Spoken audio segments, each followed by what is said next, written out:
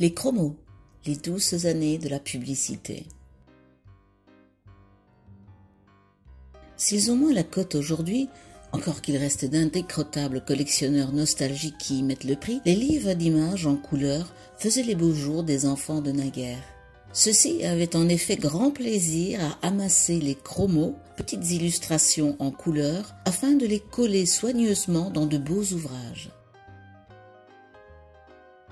Les marques y ont très rapidement repéré l'intérêt publicitaire pour leurs produits. Ainsi, Codor, Liebig, Nestlé, Le Bon Marché, le Chocolat Poulain, etc. ont été parmi les nombreux pourvoyeurs en chromo dès les années 1850. Pour vendre leurs produits et s'introduire sympathiquement dans les foyers, les marques distribuaient gratuitement de petites images aux plus jeunes. Avec les chromos débutait l'ère de la publicité par l'image. Voici une coquette illustration extraite de la collection Liebig.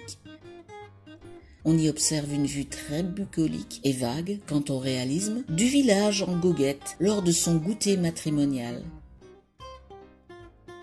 Des rubans sont accrochés aux arbres, le château approximatif s'embrume au loin d'une végétation exubérante, des tasses bleues voyagent de table en table, les jouvencelles et les messieurs sont habillés et coiffés comme au XIXe siècle.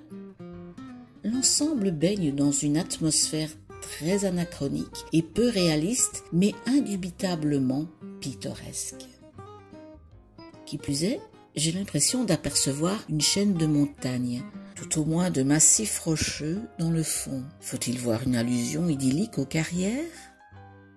Cela ressemble davantage à un paysage ardennais, mais après tout, la région de Ronquière, verte et vallonnée, a souvent été nommée Petites Ardennes en raison des courbes sinueuses du paysage.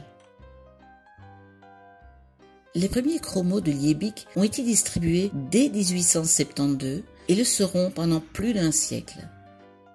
Selon le site Cartolino, qui se consacre à la chromolithographie, 2000 séries auraient été imprimées. Si la publicité était la première raison d'être de ces chromos, les images allaient ensuite aborder un terrain plus pédagogique. La collection Liebig va inonder le marché international et sera même distribuée en Italie jusqu'en 1975.